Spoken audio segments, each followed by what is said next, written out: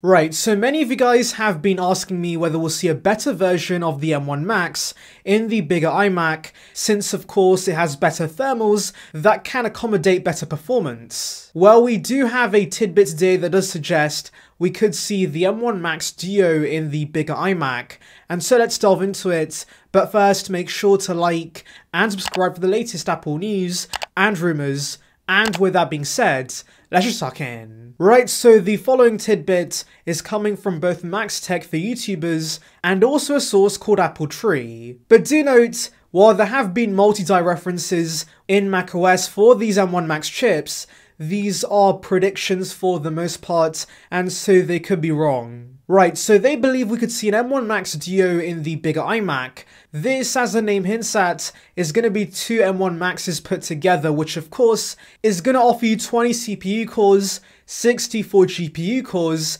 and also up to 128 gigs of RAM. Since of course one M1 Max chip allows for up to 64 gigs, and so two of those should allow for 128 gigs. Now I'll be honest guys, I don't think Apple cares about giving us that much RAM in this iMac because as we've seen in plenty of videos, 64 and even 32 gigs of RAM has been fine for so many workflows, and so I would not be surprised if RAM still capped at 64 gigs. But these guys do bring up a good point, and that is the 27 inch iMac supports 128 gigs of RAM, and so the replacement having less RAM could be seen as a downgrade, and so for that reason maybe Apple does give us the option to max out the RAM to 128 gigs. Now some of you guys might be wondering why we even need an M1 Max Duo in this iMac. Well of course, the M1 Max chip is a beast, but compared to the higher end configurations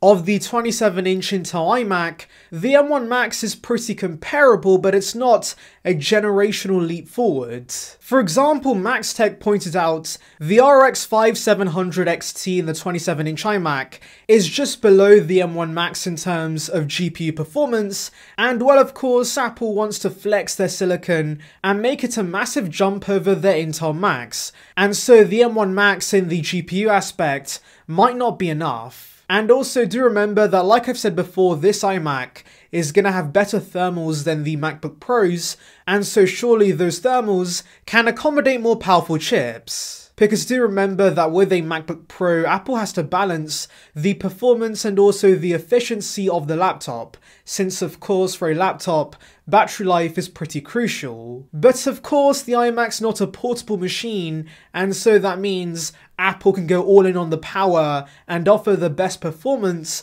with the higher end iMacs. And yes, I know that Apple did nothing with the 24 inch iMac to of course take advantage of the better thermals, but do remember that's a machine for regular Joes, and so they do not need pro performance, and so the M1 is more than fine for that price point. Whereas of course the bigger iMac is solely going to be for professionals and so of course for their high-end workflows, they might appreciate the boost in performance. So yes, on the whole, I'm pretty confident we're going to see an M1 Max Duo with the bigger iMac, and I'm looking forward to seeing the performance this beast of a machine offers. Anyways, tell me in the comments below guys, do you think we're to get an M1 Max Duo in the bigger iMac? Anyways, thank you for watching guys, make sure to like and subscribe for the latest Apple news and rumours, Check out the video in the code above on details regarding the M1 Max Mac Mini and on that note, I'll see you guys in the next one. See ya peeps!